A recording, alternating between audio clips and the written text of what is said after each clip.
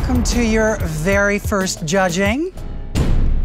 Now, to help me with the very difficult decision with who goes home each week, highly sought after fashion and celebrity photographer, Mr. Mike Ruiz. Hi, ladies.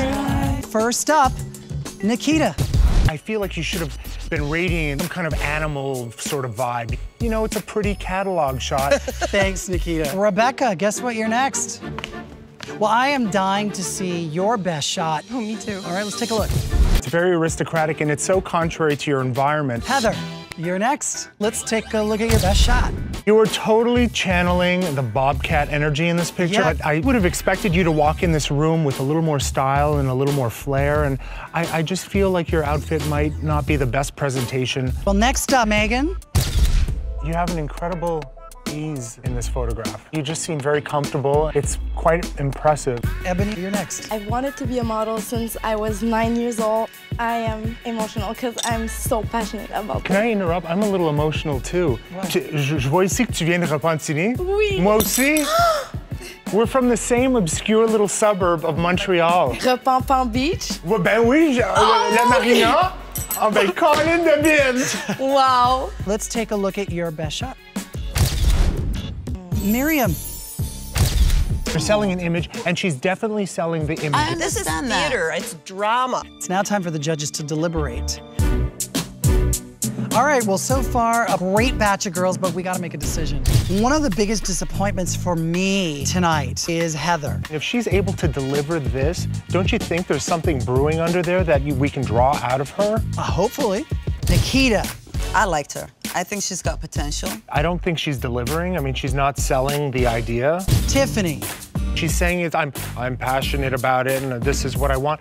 I don't buy it for a second. I just don't get the feeling she really wants to be here. Megan. She's gorgeous and she reads model completely. Lindsay. This image is very dynamic to me and like I love the fact that she's, you know, throwing caution to the wind and like, you know, let me just jet my pelvis out as far as I can take it. It looks dislocated. Kudos to her for dislocating her pelvis. Ebony. She's one of the girls that looks least like a model to me. You know what? I think we've reached our decision. First cut.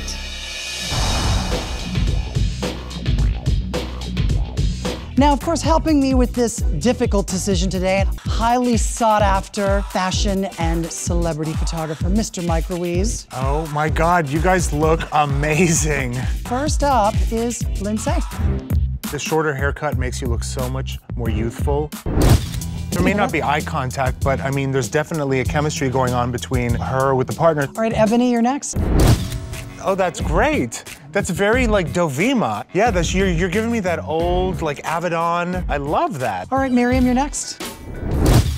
You have to be on your top game in every single frame because you never know which one is going to be picked. All right, Nikita, you are next. Body language, face, wow. you're working the hair and the clothes, and it's all coming together. It's beautiful.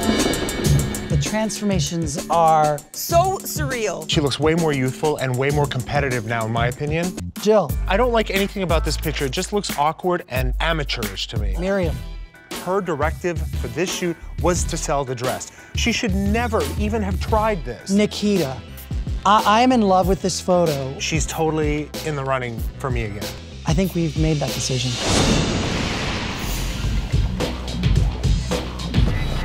So we going in the hotel and we went to the pool. And there was Yasmin and Mike sitting down like as if they're on the beach or something. We're gonna teach you how to push through a barrage of elements, but it's paramount that you always focus to get the shot. We're gonna pair you guys up and you will pummel your partner with water. You have to learn how to keep your face beautiful. You can't be like, eh, eh, or you know, you can't, you can't. Foxy Mamas! Hey. Nikita and Tara, why don't you guys get in the pool? So you had to get in the water and strike a pose and try and look sexy and not blink. Just try and be conscious. You push the hair, like kind of work it if you can. Work it into the shot. You know, that could be your pose. Stop. You got to ignore what is happening to you. Although I do have to say, I love the raccoon eye makeup right now. It's fabulous. I know let's have Lindsay and Rebecca. Woo! And hit her. Oh!